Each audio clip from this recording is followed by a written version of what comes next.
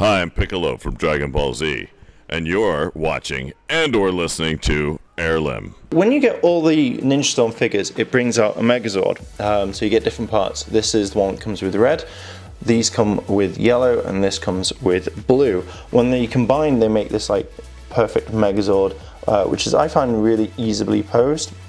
Um, it's very light on the actual joints itself, so it can be posed in like multiple different ways if you want to, um, but they are quite loose. But once you pose them in one way or another, you kind of have everything cool. Now I kind of wish the Red Ranger came with a sword as well, because that would be kind of cool to have. But as you can see here, um, you can put them in different positions as the Storm-powered Megazord, and it's very kind of posable.